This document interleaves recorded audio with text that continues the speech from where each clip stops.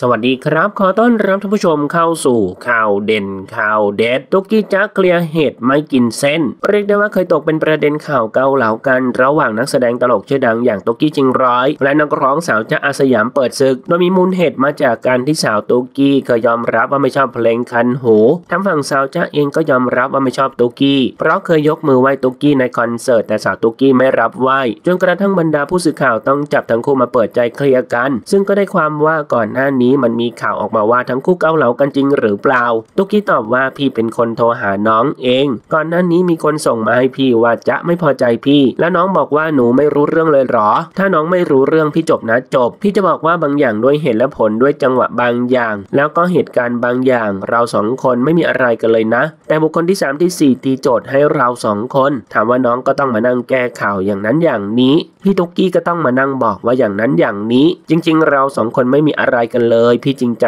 ที่สุด พี่โทรหาน้องเลยน้องบอกไม่มี ยังบอกน้องเลยว่าจะไปตามหาหนังสือเล่มนั้นเลย ช่วยกันจะไปถามว่าเอามาจากไหน แต่มันก็มีข่าวออกมาว่าตุกกี้ยิงจนน้องไหว้ไม่รับไหว้ตุกกี้ตอบว่าบอกได้เลย สมุดคิวรับงานถึงปี 59 แล้วไม่มีว่างเลย ถ้ายิงไม่มีงานแน่นอน จะบอกเลยถึงปี 60 จะไม่ว่างเลยจ๊ะได้คุยกับพี่ตุ๊กกี้แล้วอยากจะขอโทษอะไรหรือเปล่าจ๊ะตอบว่าตอนแรกหนูก็รู้สึกเกร็งแต่ข่าวมันก็ได้ออกไปแล้วก็เกิดมาจากสาเหตุจากเพลงนั่นแหละ แล้วได้ไปเชื่อมโยงกัน แต่จริง ๆ แล้วไม่ได้มีอะไรกันเลย วันนี้ก็ได้นั่งโต๊ะเดียวกันได้คุยกัน ตุ๊กกี้บอกว่าพี่ยังบอก PR พี่ว่าไปดูสิ ที่นั่งตรงข้ามพี่ใช่จ๊ะไหมมันสวยขึ้นมากพร้อมหัวเราะจ๊ะบอกว่าเราเจอกันหลายครั้งแล้วประมาณ2อสาครั้ง ตุ๊กกี้บอกว่าเคยเจอกันแต่ว่าน้องขึ้นพี่อยู่ข้างล่าง น้องลงพี่อยู่บนเวทีสวนกัน ถามว่าไม่เกี่ยวกับเรื่องเพลงเลย ตุ๊กกี้ตอบว่าพี่จะบอกว่าถ้าใครติดต่อมา พี่ไปซื้อลิขสิทธิ์เพลงจากหัวหน้าเก่าน้องเขานะ ด้วยความที่พี่เป็นคนมีสังกัด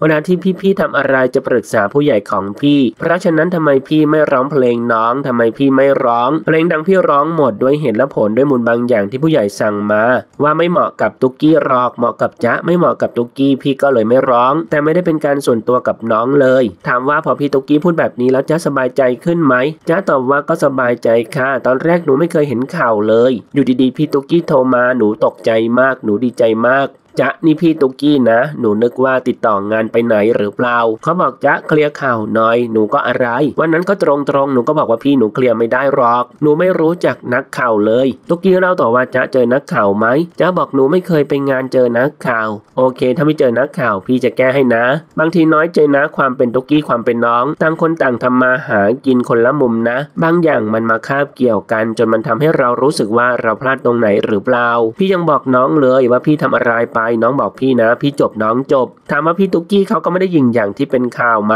จ้าตอบว่าใช่ค่ะ ตอนแรกเกรงค่ะพี่ เพราะหนูเพิ่งเข้าวงการมา และด้วยความบ้านนอกของหนูด้วยด้วยความบ้านนอก หนูคิดยังไงหนูก็พูดอย่างนั้นเลยก็เลยเกรงพอเห็นอย่างนี้ก็รู้สึกสบายใจท่านผู้ชมนะครับ มีความคิดเห็นอย่างไรกับเรื่องนี้ลองแสดงความคิดเห็นกันเข้ามาดูนะครับ ขอขอบคุณข้อมูลจาก thainewsroom.info ขอบคุณครับ